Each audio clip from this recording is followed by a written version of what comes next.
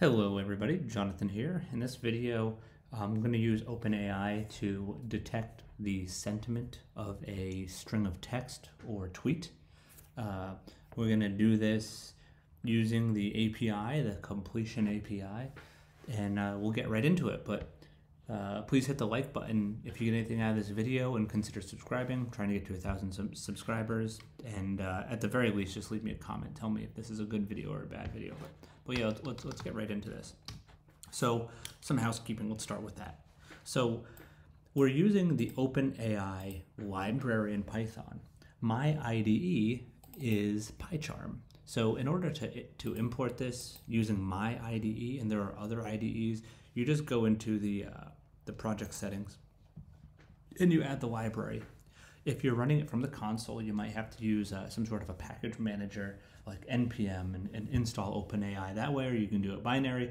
Uh, that's a whole different video. So we're, we're running OpenAI. Um, OpenAI requires you to set some system variables, but I am what is known as lazy, and I just store my key uh, in a separate file and then call it just to hide it here and keep it secure. So you might see some code examples where they're referencing a, uh, a, uh, an environmental variable for the key. I'm not doing that. I just set the key equal to key.key right here, openapi.key. You know, if your key was like, you know, some, you know, whatever. You could, you could even put it right here, some key, whatever your key is. So you get the OpenAI key. Um, and then let's get right into it. We got to create a response. So response equals OpenAI.completion, right? There's, there's a whole bunch of uh, options here. Answer, the answer API, completion, uh, you know, ma many different uh, options you can select from. This is why I use PyCharm, is it kind of helps you explore all the members of that, uh, you know, of that library. So API.completion dot create. Okay, and we are going to first set the model to be equal to text dash Da Vinci dash 003. This is just uh, the model is something you can tune later on depending on the amount of overhead you want the uh, the, the, the project to run. Uh, it, it's, it's really more about performance and speed and, and accuracy. Then we're going to set our prompt to be equal is decide whether a tweet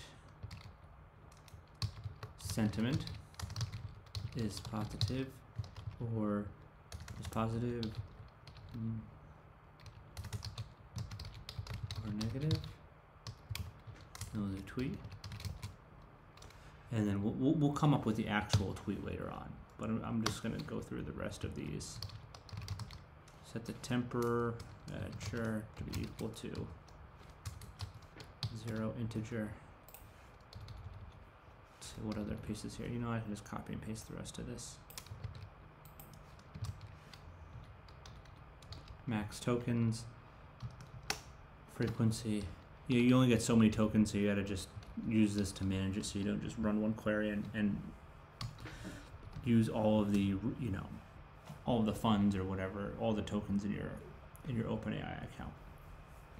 So here we have this. Uh, I'll get rid of this now, clean that up and we have we can let's let's figure out what our tweet is. What do we want to say? The tweet is going to be, I really don't like uh, eating at Steven's restaurant. Literally just making this up as we go. exclamation point there. Decide what it is. And let's run it and then we'll, we'll print out the response.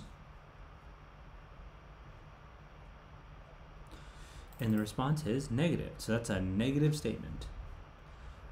How about I, and then what if we change the don't to a do? I really do like.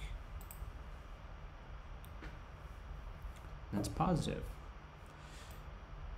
And then what if I was to say, tonight I ate at Steven's restaurant. Now, this person's not saying really any value judgment about whether or not it was good or bad or what. Oh, I guess I guess that could be uh, interpreted as positive. why don't we make the tweet say, I feel indifferent about Stephen's restaurant.